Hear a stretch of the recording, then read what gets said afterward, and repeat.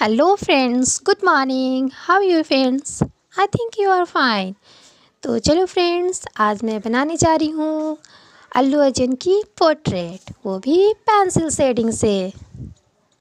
Friends अगर आप portrait बनाना चाहते हैं तो आपको पहले परफेक्ट स्केच निकालने होंगे और स्केच निकालने के लिए आप आप पहले ग्राफ कर लो. ग्राफ अगर पॉइंट बाय पॉइंट करोगे तो आपको पोर्ट्रेट बनाने में कोई परेशानी नहीं होगी।